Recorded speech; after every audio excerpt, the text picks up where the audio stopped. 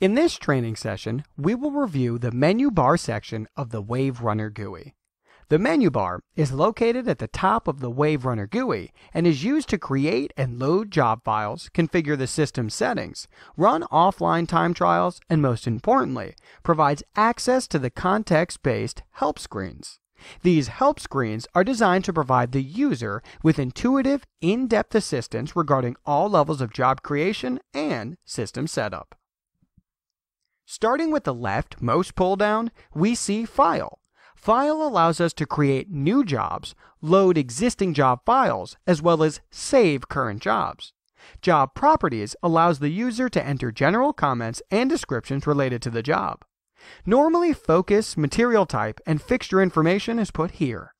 This section has no direct bearing on the job. It only serves as a reminder as to what was done to create a successful product.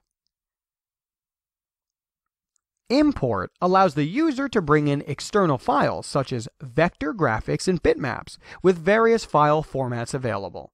Once imported into the job file, a vector file can still be edited and exploded into sub-entities or groups. This is useful when only a small portion of the graphic is to be used or requires quick editing.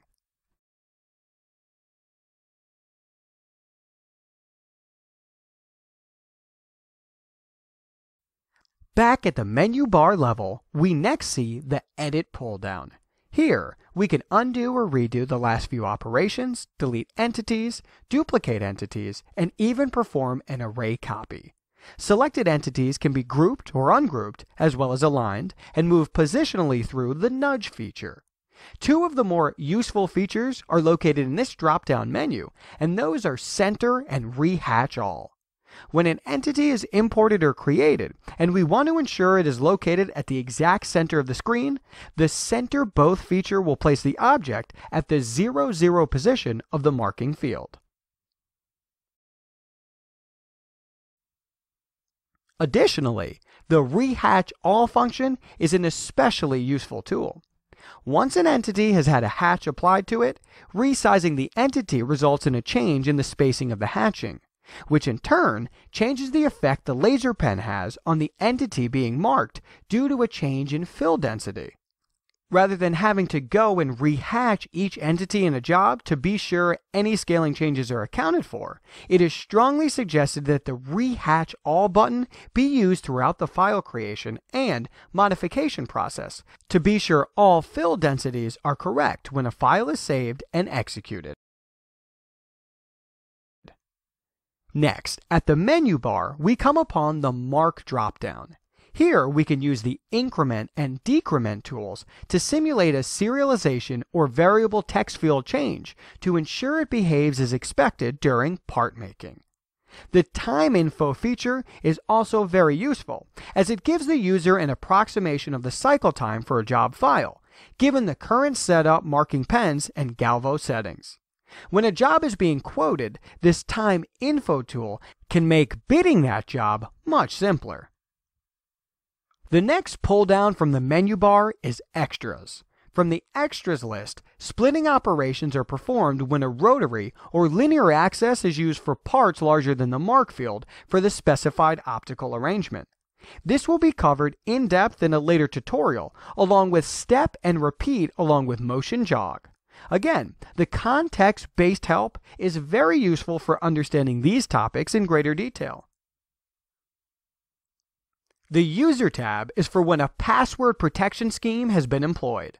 This is where a user would enter their user information and password to gain access to the marking software.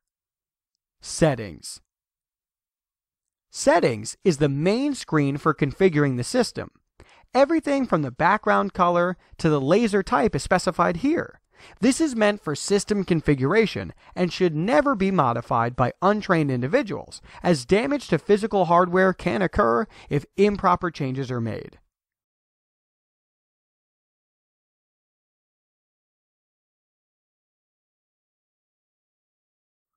Reset license will do just as it says. Pressing this will cause a pop-up window asking you to confirm that you really want to delete the license file from your computer. Once deleted, a valid license will need to be entered before the system can be used. The software will continue to load in demo mode only. No saving or laser output will be possible without a valid license present. Units Metric, millimeters, and imperial inch measurements can be selected depending on a user's preference. This can be done at any time and even during a job file creation. Useful when some drawings are given in metric and others in imperial units.